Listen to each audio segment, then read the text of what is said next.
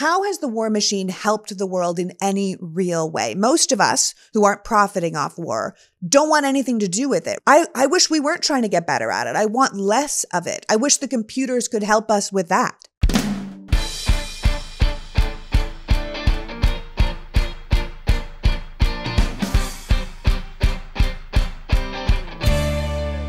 Hello, and welcome to the Politics Girl podcast. I'm your host, Lee McGowan. Let's get into it. I'm not going to pretend the nation isn't in absolute chaos. The fact that Donald Trump is still the Republican frontrunner, the amount of voter suppression and undemocratic behavior happening in the states, the Christian nationalist the GOP chose to be Speaker of the House, the dichotomy between what the two parties stand for has never been more glaring. Which is why I want to talk to you today about a really important big picture idea, which is the rise of AI as it pertains to warfare. We can't pretend the world isn't on fire right now, or that authoritarianism and terrorism aren't on the rise all over the world and realistically right here at home. So the question is, as computers get smarter, who do we want regulating them? Who do we want in charge of programming them? And ultimately, who do we want leading our country and our military response when AI is in the mix? Because if we get this wrong, how we feel about things like taxes, religion, racism, those will be the very least of our problems. I'm warning you ahead of time that this episode is kind of scary, but it's also incredibly important and one that I think is really worth your time. To have this essential conversation with us, I'm joined today by Ross Andersen. Ross is a staff writer at The Atlantic, where he covers science, technology, and culture. He was previously the magazine's deputy editor and recently spent a significant amount of time at OpenAI's headquarters in San Francisco and traveling through East Asia with its CEO, Sam Altman, for a major essay that came out in the September issue of The Atlantic. Ross is also writing a nonfiction book for Random House about an ambitious team of scientists trying to make contact with intelligent life elsewhere in the universe. I'm having him on today to discuss his article from the June issue of The Atlantic called Never Give Artificial Intelligence the Nuclear Codes. And I'm having him on because I'm still thinking about that article six months later. This is big deal stuff and something we have to consider as citizens of the world, but also as citizens of this powerful nuclear superpower going into an election year. At the end of the day, we need to be very deliberate about who we want making these life and death decisions on our behalf. Who should be at the helm as the computers get smarter and the world gets harder. So without further ado, please welcome my guest, author, essayist, and staff writer at The Atlantic, Ross Andersen. Welcome, Ross. Lee, thanks for having me. Oh, thank you for coming. I, I reached out to you because I really enjoy your work and you're able to take these incredibly complicated issues and make them way more understandable for us normies. And I really hmm. appreciate it. You're not a normie, but I, I appreciate that myself.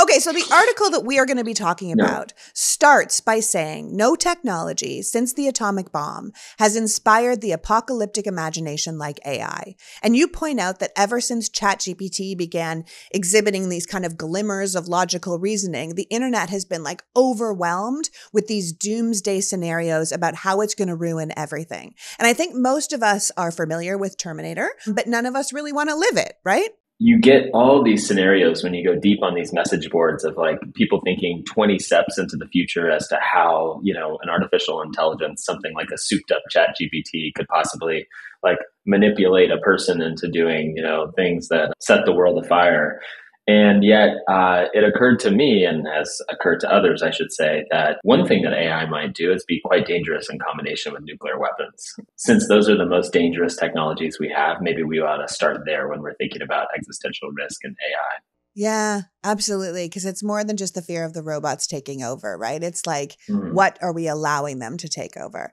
And your article did focus on this very real fear of the integration of AI into warfare.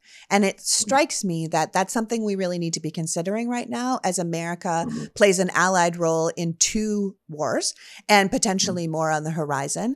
And as you say, no one is currently inviting AI to strategize our war plans or join in meetings with the Joint Chiefs of Staff. But like, how many years until AI moves up that chain of command? Like, how fast will technology hmm. advance? And it does appear to be advancing quite quickly. We need to make sure that the humans are smart enough to act with the appropriate restraint so as not to just defer all our decisions to them at some point? You know, at this point, right? Like AI is being used, you know, uh, you could think of it as a soldier, right? right? Like we have drones, for instance, there's work on tanks, there's work on like automated F 16. So it's sort of like The AI is out in the field as an individual, possibly making decisions, in certain cases, maybe even making kill decisions, um, but that's a really murky and complicated topic.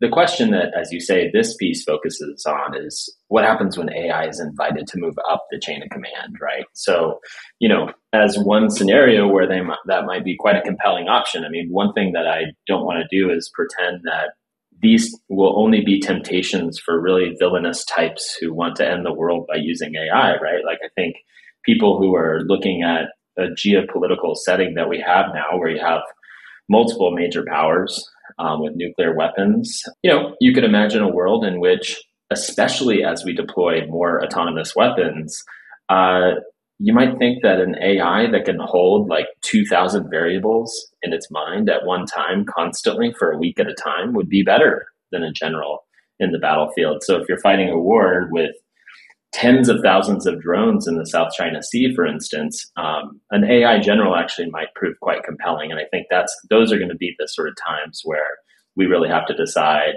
whether that's a road we want to go down. You used the example in your article of the director of the Wargaming and Crisis Simulation Initiative at Stanford. And she devised this game in 2018 about this quickly unfolding nuclear conflict. And she said it had been played by everyone from former heads of state to foreign ministers to senior NATO officials. And she believed the game gave us this insight into the decisions these type of people might make when the stakes are that high.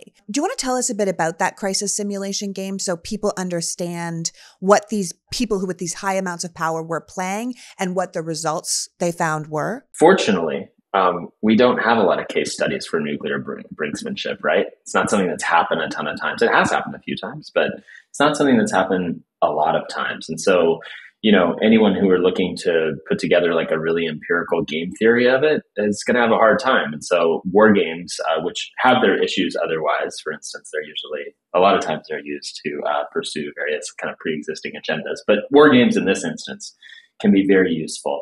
This one uh, really appealed to me. Has like big Tom Clancy energy. Uh, it's like you know you can imagine the the president and the cabinet, you know, have just been hustled into the basement of the West Wing.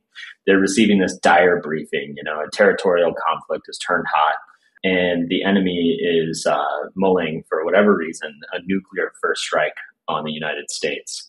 And you can imagine what the Situation Room would be like in that setting. I, the atmosphere would probably be quite charged. Um, you know, you'd have probably factions between hawks and doves, and the hawks would be saying, "Hey, we need to have immediate preparations for a retaliatory strike, if not a first strike." Then there's this wrinkle in this war game, which is that you know someone else stands up and says, "We've just had intelligence that suggests that the enemy also has a cyber weapon, and that cyber weapon might compromise our communication systems in nuclear command and control. And that's a lot of jargon. So let me just say that nuclear command and control is the system that we use for the president to, you know, make orders that have been received by missile silos or submarines or any other assets that we use to launch nuclear weapons. And so the president, upon hearing this, right, is in a really tough situation because they don't know whether their commands will reach their nuclear forces.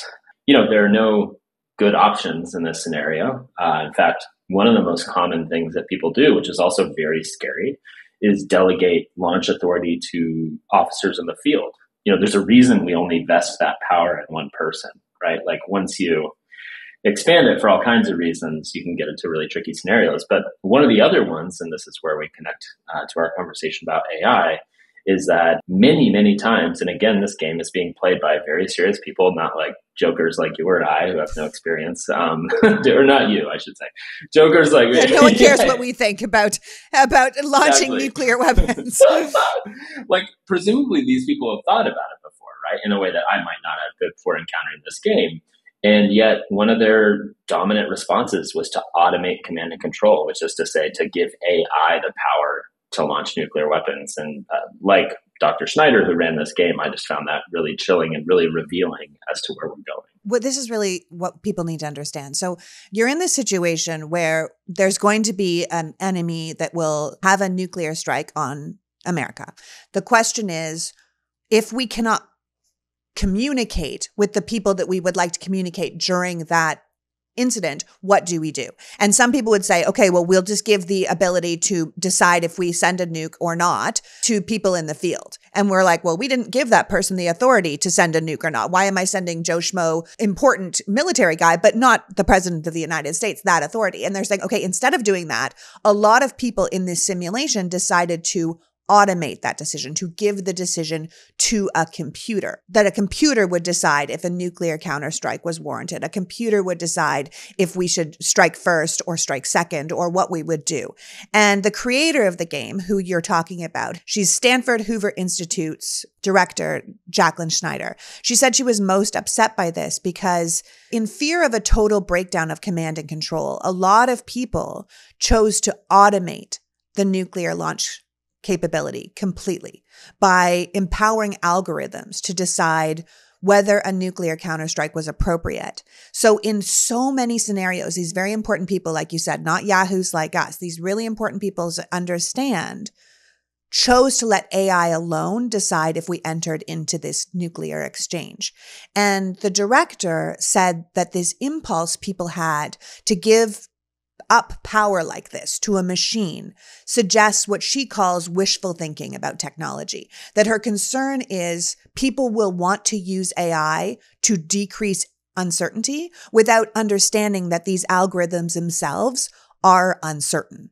Yeah, that's right. And I mean, you see that uh, look just to be vulnerable i mean I, I see myself doing that. When you're googling the answer to a really difficult research question and you're getting kind of ambiguity and you don't know the sources really tempting to just go ask chat gpt like hey what's the answer to this? and get like this really crisp and clean you know kind of well written little response that because it sort of has the the atmosphere of cold computer logic it can be really compelling and persuasive. And so when you're now falling for that same little trick, but when the, the stakes are potentially human extinction, that is uh, that's an entirely different gamble. And I think Dr. Schneider is right that you know, especially in situations that are so charged, no human being can really keep their head in that situation. Shouldn't be able to keep their head. Like it's really a kind of quite a dizzying thing, and I hope it never happens. By the way, yeah. Um, but AI might be especially tempting there. Oh, well, the, these safe computers, you know, they'll help us. Like you're saying, we have this idea of computers being this kind of emotionalist decider,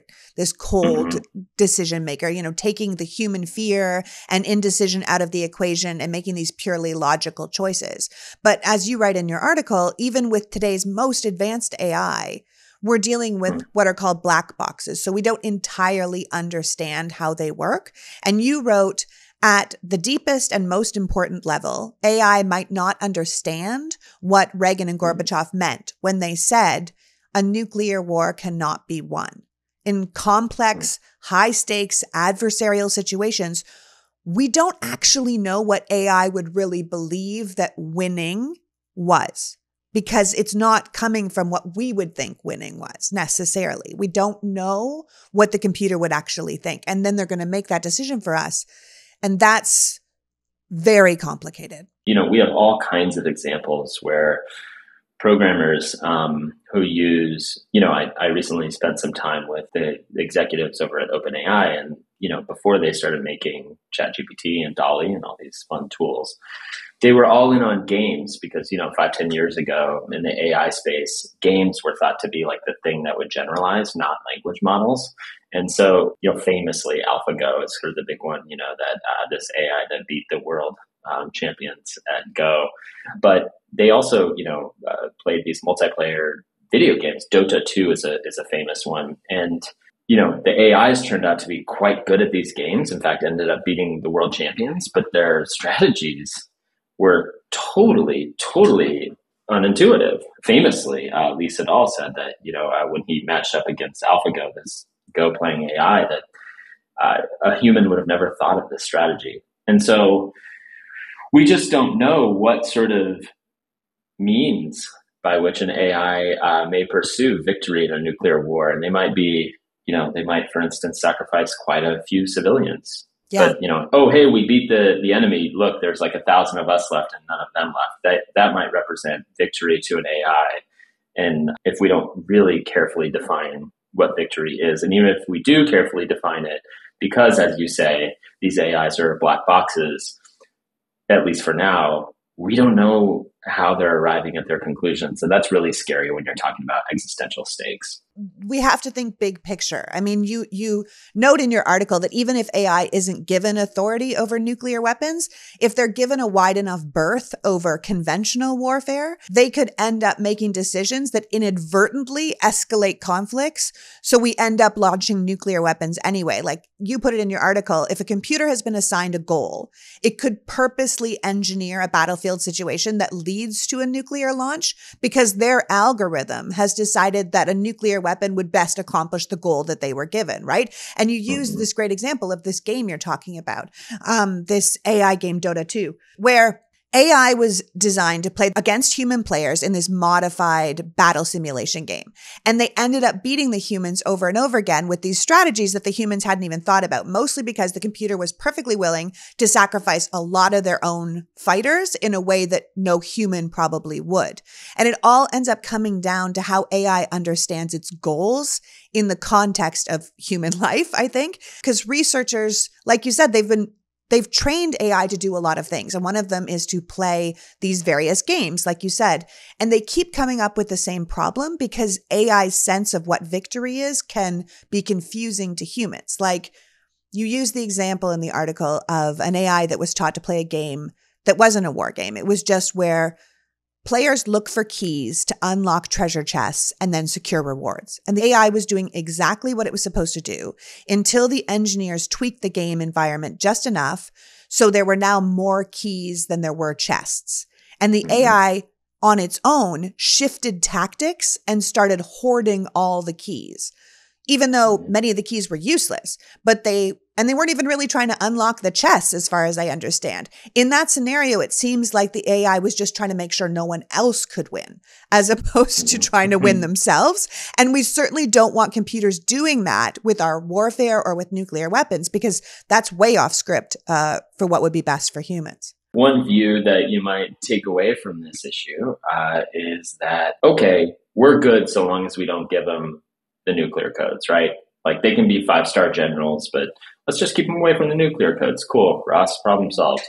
Except that, of course, uh, not even at the four or five star general level, even you know well below that, these AIs, if they're good at building models of the world, right? There's every reason to believe that they are, and they're getting better at it.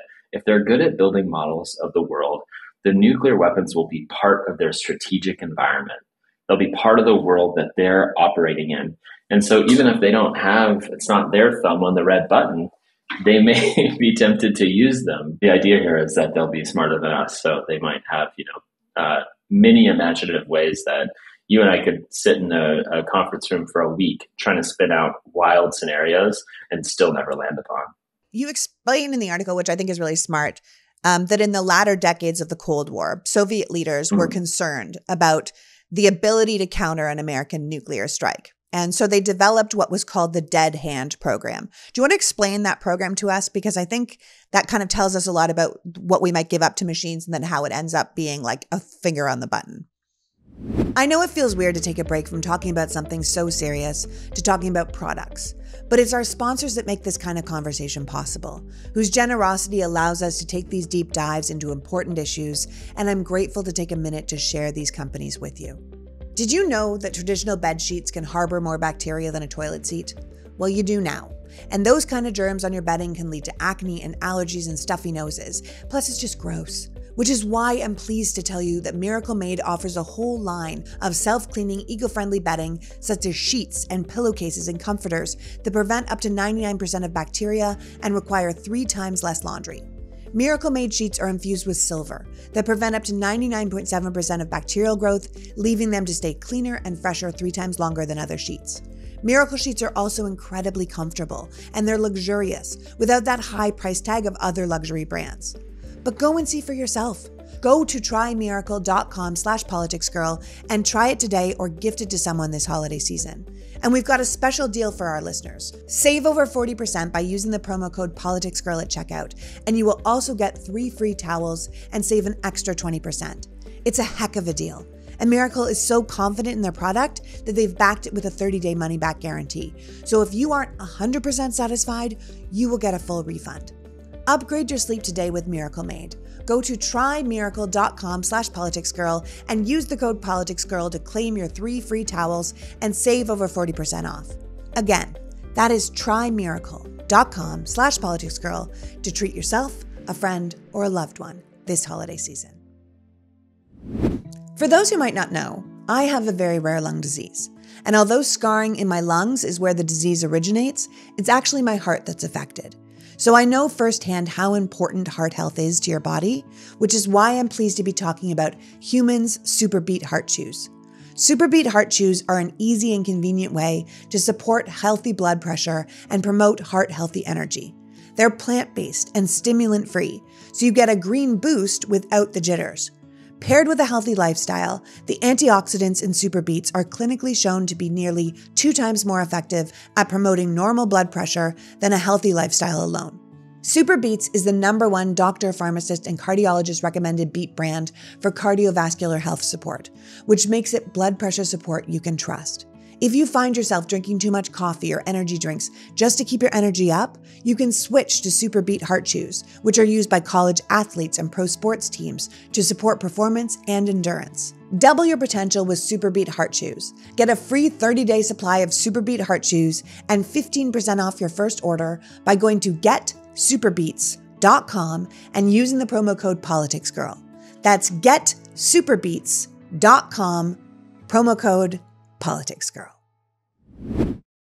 When we talk about the Cold War um, and the nuclear arms race that occurred during it, I think a lot of us have the sort of we have the historian's common poise, you know, because we have the sort of not all, but a lot of the facts before us now. And so we look back and say, oh, well, you know, we had this many missiles and they had this many. And so, you know, that's about where we were. But at the time, there was massive uncertainty on both sides. And one thing that we've pulled from the sort of 70 year experiment that we've had with nuclear weapons is that uncertainty is not great, right? Like you want certainty so that people have a really firm sense of like what sorts of actions will trigger escalations on the other side, et cetera, et cetera, et cetera. So when the Soviets uh, feared uh, that they were falling behind in the nuclear arms race, they, you know, even said as much that they had this thing called the dead hand, which was the first AI doomsday weapon. It's the very first AI that was ever put in control of nuclear command and control. And you know, it's it's so simple that it's tempting not to think about it as AI or as an algorithm because it was such a, a simple thing. But um, the idea was that you know, if a nuclear crisis were underway, and if Moscow feared that they would be deprived um, of control over their nuclear weapons, they would turn this thing on and it would be subject to certain conditions. So, you know, if you saw this big blinding flash of light and then there was all this fallout or whatever it may be, and you weren't getting a response from your command and control, the thing would launch everything. It wouldn't just launch one thing, it would launch every single weapon they have. The way they did it was kind of ingenious. It would, a single ICBM would like launch up into the atmosphere and then like send flashing out um, uh, like radio uh, directions to all the other silos to just, you know, it's time to launch. Yeah.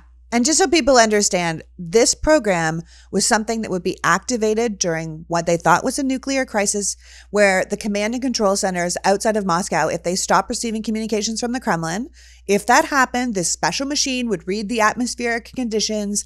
And if the machine, you know, saw blinding flashes or surges in radioactivity, all the remaining Soviet missiles would be launched directly at the United States. And Ross writes about this program because Russia's always been kind of cagey if they had this system. But in 2011, mm-hmm. a commander of the country's strategic missile forces said it still exists and it's on mm. active duty. In 2018, a former leader of Russia's military forces said the program has actually been improved.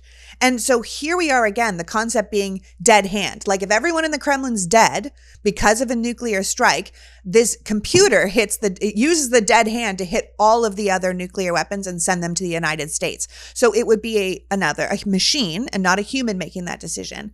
And then America was like, if they have this program, we should probably have a program like it. So it's like what happens is you get into this again, it's like an arms race, but with automation. You know, you think, well, if they have a computer that will launch weapons, maybe we should have a computer that will launch weapons.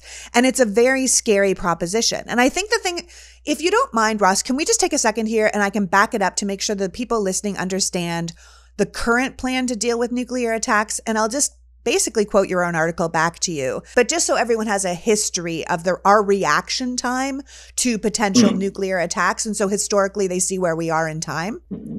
So, in the early days of the Cold War, the preferred mode of a first nuclear strike was bomber planes, right? Like the ones we used over Hiroshima. You send a big plane, it's got a nuclear warhead attached to it, we drop it on the target. But these planes took a long time to fly, right? Between their locations. So between the Soviet Union and the United States, they would be piloted by human beings and they could be recalled. So knowing that's how the weapons would arrive, America built this arc of radar stations across the high Arctic and Greenland and Iceland. So the president would have maybe an hour or so of warning before a bomb dropped, and it would give us enough time to communicate with the Kremlin or shoot the plane down. And if all of that failed, to order a full scale retaliatory attack.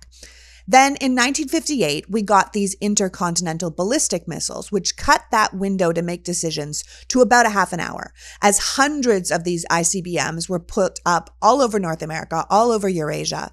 And a lot of them were able to cross the Northern Hemisphere in like less than 30 minutes.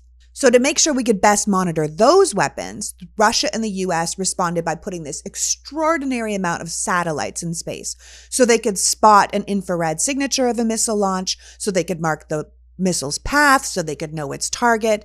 And then in the 70s, we got these nuclear armed submarines. And then all of a sudden, all these missiles topped with nuclear warheads, these missiles that could go super fast, were all cruising around the world's ocean. And getting closer and closer to their targets, like basically cutting that decision window to do anything down to about 15 mm-hmm. minutes, right? And then you point out 15 minutes, I'm sure most people can understand, is just a ridiculously small amount of time to have a considered yeah. human response to such a huge crisis. Now we have to consider that nations are working on new missile technology, including hypersonic missiles, which Russia's already using in Ukraine right now because it's basically undetectable because it comes at you so fast that your like missile defense systems can't keep up. And we know that Russia and China want these hypersonic missiles to eventually carry nuclear warheads. And if they do that, then that would cut the 15 minute response time in half. So then we would yeah. have seven and a half minutes to make a decision about the fate of the world and what human could do that, which is what gets us back to AI, right? I mean, yeah. that's, yes, that's the deal. Yeah, that's the deal. And that's why, you know, um, you talked about, you know, when I was reporting this story, you, you talk to your buddy at the bar or whatever it may be, and people say, Oh, that's cool. Like that sounds like quite a speculative story. I'm sure no one's thinking of giving uh, nuclear weapons, giving AI control of nuclear weapons. It's a reasonable thought. I wish that were the case. And then you say, well, actually, the Russians did this already with Dead Hand, and also there are people, senior people who were involved in command and control previously, who have proposed this recently for those reasons that you just laid out. Because the decision window is shrinking, maybe it makes sense to have a dead hand, they've said. I mean, these are serious people making proposals about that in the national security community. And you can understand why, right? And and I want to say too, I mean, there are, you know, when it comes to the dead hand, for instance, or a proposal that the US would have something like this, it can be difficult to disaggregate serious real plans from deterrence bluster, you know, and deterrence bluster can be useful, right? Like maybe it would be useful if for all of time the US, China, and Russia all said, hey, look, we've all got a dead hand. So just that would just put, you know, give us maximal deterrence. Everyone would kind of agree, okay, like the last thing we want to do is start a nuclear war because we all have these automated responses. All kinds of reasons I don't think we should do that, but you can understand why these people are, are proposing it. But uh, it's chilling. It is. And I mean, the American director of the Pentagon Joint Artificial Intelligence Center is very keen on AI. He's like, I can't think hmm. of anyone who's more keen on AI in the military than me. But when it comes to nuclear command and control, he even he is hesitant. And just so people know, uh, the Pentagon has been working really fast to automate America's war machine. According to a report in 2021, we have at least 685 ongoing AI projects, and the budget for AI in the military has only increased since then. And we might not know what a lot of these projects are, but we get the sense that the military is trying to automate a lot of things.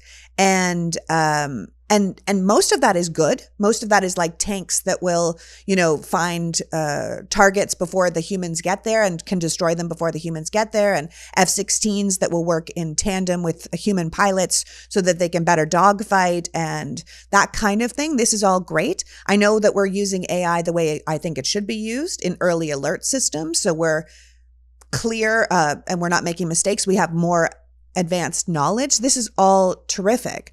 But the question is, what comes next? What do we do next?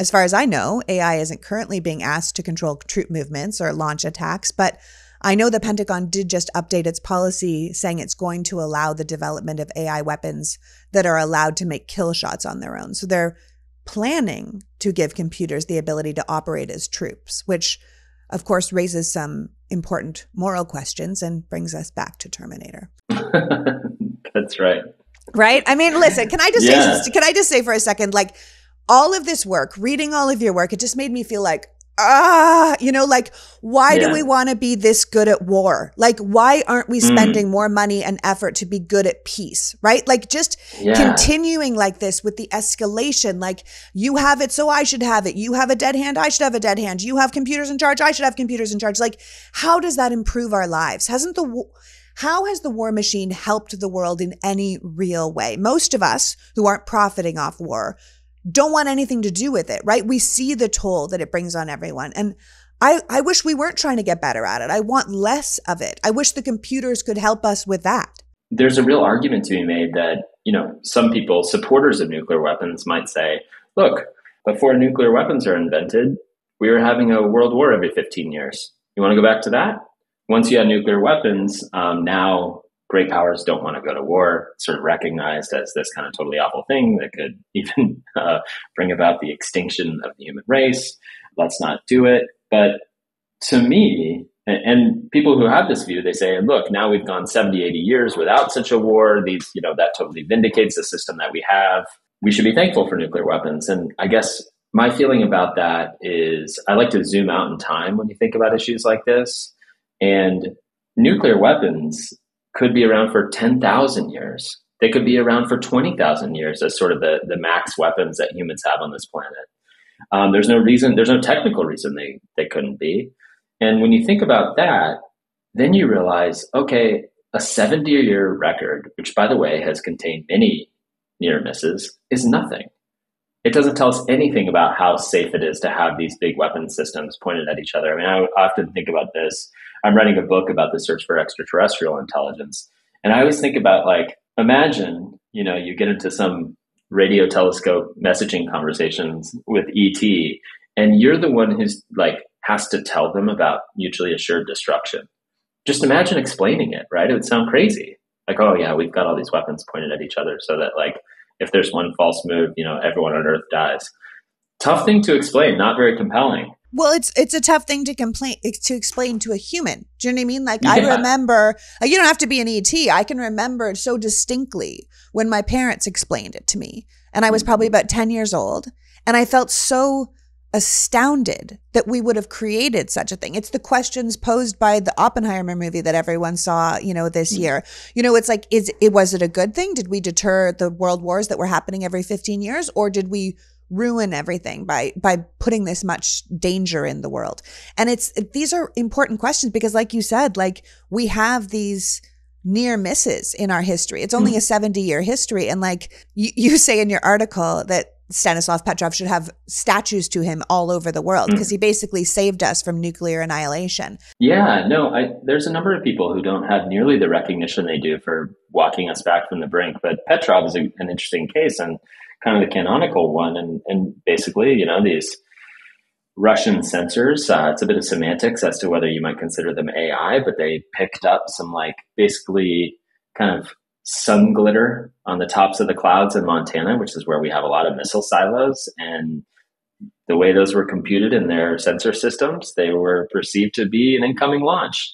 And so, um, you know, they started warning, the klaxon started going there, and it was up to Petrov as to war- order a counterstrike. And he, you know, kept his head about him and said, that's probably a false alarm. Like, there's no real tensions right now. You know, I mean, there, there were tensions, but it's not like peak tensions. No one's on a war footing necessarily. Let's wait and see. And we need people who are going to say, let's wait and see. And the other, I mean, to me, um, that makes him a huge hero. And like I said, there have been other near misses, but that one's kind of the cleanest story. But also the other people that I, I it's crazy to me that George W.H. Bush and Gorbachev yes. don't have Nobel Peace Prizes already. Yes. I mean, you know, they, because of the treaties that they signed and set in motion, nuclear stockpiles came down by like, you know, five times we got to this stable point where it's like both countries have maybe a thousand or whatever it is. The numbers elude me right now.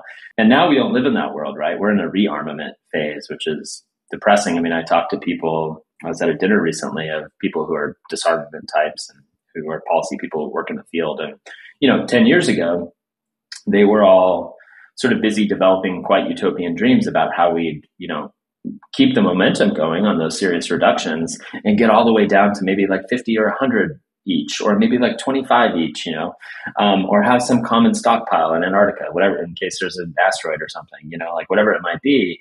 And now that all they're they're interested in is like, how can we keep the status quo? And it's going to be difficult because you know China is is expanding their their stockpile, and we're on this sort of war footing with Russia. They've pulled out of our arms control treaties, and so I think you might see this this new period of proliferation, and that's that's really sad. Yeah, and just so people understand uh, what Ross is talking about, he's talking about in the '90s during kind of a relative moment of peace. George H. W. Bush and Gorbachev realized that this kind of back and forth competitive weapons development would only end up ever increasing our nuclear warheads to our world's detriment. And so, to their tremendous credit, and like he's saying, I mean, really, we really should give them the credit. They refused to keep doing the arms race thing. And instead, they got together and they signed the Strategic Arms Reduction Treaty, the first in a sequence of treaties that kind of cut the nuclear arsenals in both countries down to about a quarter of their size.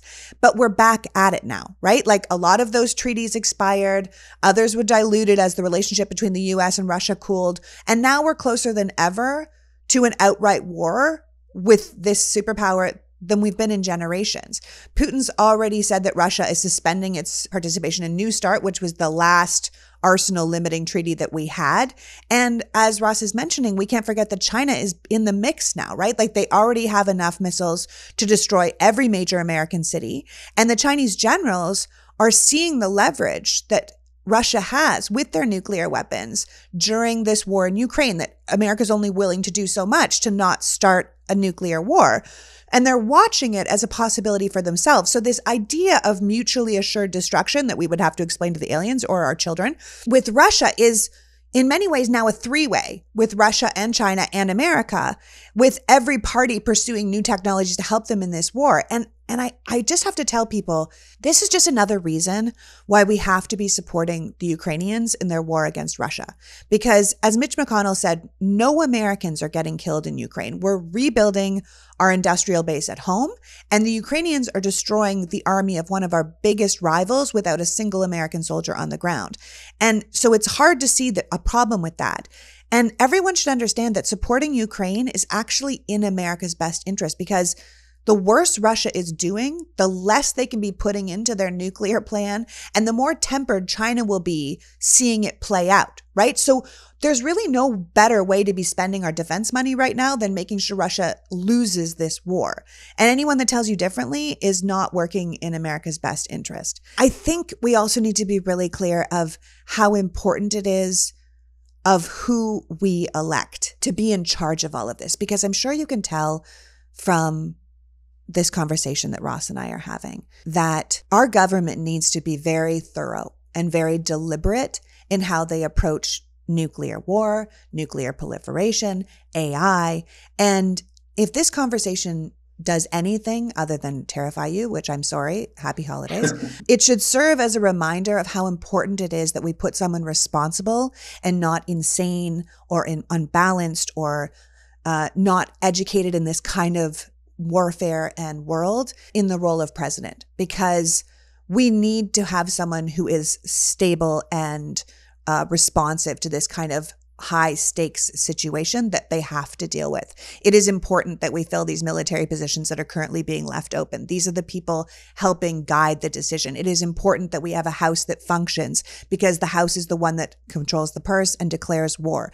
These are all things that we can't take lightly. So how we feel about taxes or this group of people or that group of people or who we want to have a beer with, it's all irrelevant. The people we choose to put in power are in charge of our entire planet's life or death. We can't just vote arbitrarily in America. America's power is too great in the world to make that. We need to make responsible decisions when it comes to who our leaders are going to be because this is the kind of power they're playing with. Mm, that's well said. And I, you know, to return to that 10,000 year frame, one of the things that I often think about is again, if these weapons are around for that long, even under relatively stable geopolitics, that means that just by the sheer amount of time that has passed, the red button will be exposed to every kind of human personality and leadership, right? We've only had you know so many presidents who have been close to the red button and maybe they've had a kind of narrow band of personality types maybe not. If, it, if it's a thousand years or ten thousand years you're going to have many many many more types of people who are going to have that proximity to that awesome decisive power and terrifying decisive power. And so as you said we need to choose carefully. The other thing i wanted to say just because you mentioned china just one of the things that's working against disarmament is we in the UK uh, have approached China and said, "Hey, let's let's get you on board with the um, with the arms reductions." And the Chinese, in, in my view, have kind of quite a compelling retort, which is, "We have less than you now, and so we actually don't even want to sit at the table until we have as many as you. If you want to bring yours down to where we're at, great, let's sit down. But until that happens, like, don't even broach the conversation, and it's hard to fault them." I mean, and honestly, it doesn't look like we're probably going to have peace anytime soon. It's a volatile time in world history. But if we ever get back to a place like that again, hopefully with proper leadership, we should be really drawing on inspiration from people like Bush and Gorbachev. And I say that as a diehard liberal, right? Disarmament treaties are a great idea because they represent, as you said, human control. Maybe we should all agree, at least, at the very least, maybe all these nations should agree to keep AI out of nuclear command for now. That's right, and and just know that these these peaceful moments are windows of opportunity, you know, and then that clearly, as we've seen, they they don't necessarily last forever. Maybe they last a decade or two, and in that time, I think it's important to like push forward on priorities like this uh, because when the peace goes away, as we're experiencing right now, things can unravel quite quickly. And as you said so beautifully at the end of your article, if errors are going to be the thing that deliver us into nuclear war, let them be human errors. Yeah, that we have this theory, you know, that we've been moving away slowly and in fits and starts from tyranny you know, from the decisions of the few running the world to the decisions of the many in democracies. And this would be like a nothingocracy. It'd be a machine made, no human making the decision. So that's not the direction we want to go, I don't think. I don't think so. I don't think so at all. I really, I really hope people can get their head around the importance of these giant mm. issues that are facing us and who we put in charge of them, whether that's a computer or a better served human being we need to make those choices deliberately and with intellect and with um, judgment uh, judgment. uh, yes with judgment with great judgment. I want to thank you for joining us today ross honestly and for keeping us up to date on this kind of very serious and important work. Before you go please tell people how they can keep up with you and follow what you do Thanks for having me on the show. This has been so fun, despite so fun to talk about uh, the destruction of our world. What a blast! um, no, uh, yeah, you can find me on Twitter at Andersen with an en at the end. Uh, but more importantly, you can find me at the Atlantic. Um, uh, that's where I do most, if not all, of my writing. We always appreciate more readers, so come and find us. Oh, yeah. Please follow The Atlantic. Their work is so excellent. And I hope you'll come back again and talk about AI for Love good. To. Maybe we can have, have some hope in the new year. You can tell us about the aliens or about how it's going to help the world. We can talk about that in 2024. That sounds good, Leigh. Thank you again. So that was Ross Andersen, whose writing reminds us that AI is everywhere, including right up close to our nuclear arsenal. They may not have their digital finger on the button now, but do we want it to? And at the end of the day, who will make that call? These are the things we have to be considering. These are how serious the stakes are. And this is why we have to vote for smart, capable, thoughtful human beings who we trust to make these kind of life and death decisions under pressure. At the end of the day, it's not about politics, it's about survival. And I want to thank Ross for joining us today and you for caring enough about democracy to be here. Now go out and make the world a better place. Until next week, peachy out. The Politics Girl podcast is written and performed by me, Leigh McGowan, in partnership with the Meidas Media Network, and produced and edited by Happy Warrior Entertainment. All rights reserved.